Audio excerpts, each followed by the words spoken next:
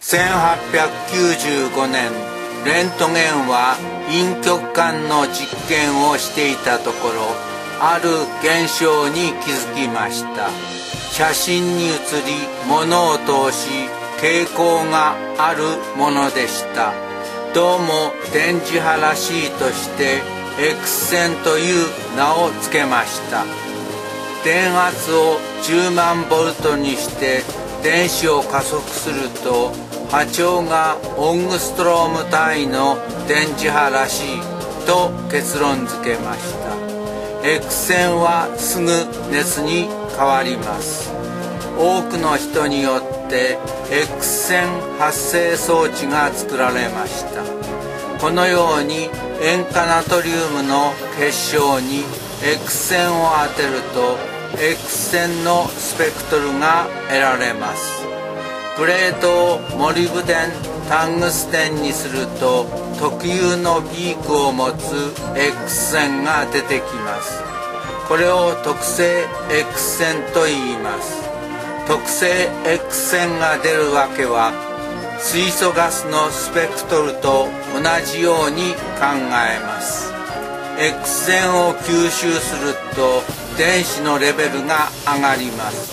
その電子が元に戻る時特有の X 線を出すからです。スペクトルと電子のエネルギー順位との関係です。物質は X 線を吸収します。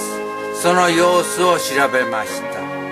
吸収されたものは蛍光 X 線となって再び出てきます。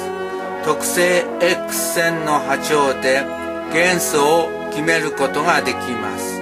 そして元素の成分分析に使われます。X 線の構造1927年コンプトンは X 線を電子に衝突させて産卵の様子を調べました。X 線を電子に当て X 線がシータ産卵し電子がファイ移動するとします。エネルギー保存から丸1水平方向の運動量保存法則から丸2垂直方向から丸3が成り立ちます。ミュミュダッシュを丸4丸5と置くと丸7が成り立ちます。丸2から丸8丸3から丸9それぞれを2乗して整理すると丸10が成り立ちます。丸7を丸10に代入して整理すると丸12となります。ラムダマイナスラムダダッシュを取ると丸13となります。波長がこれだけ変わったことを示します。つまり光量子 h 乳が電子に衝突しエネルギー損失を起こし波長が変わったわけです。これは X 線が光量子であることを示しています。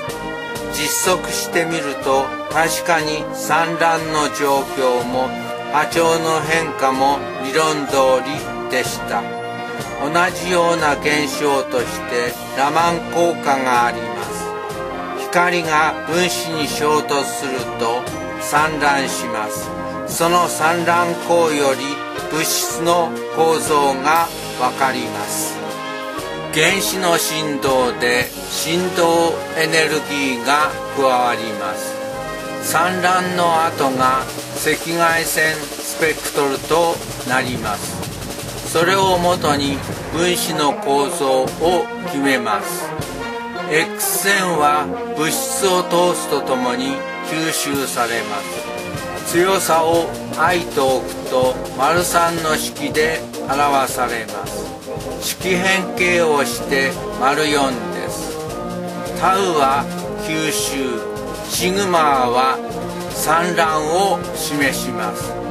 鉛の質量吸収係数のグラフはこのようになります波長の長い X 線をソフト X 線と言いますよく吸収されます吸収されるとは人の体には有害と言えます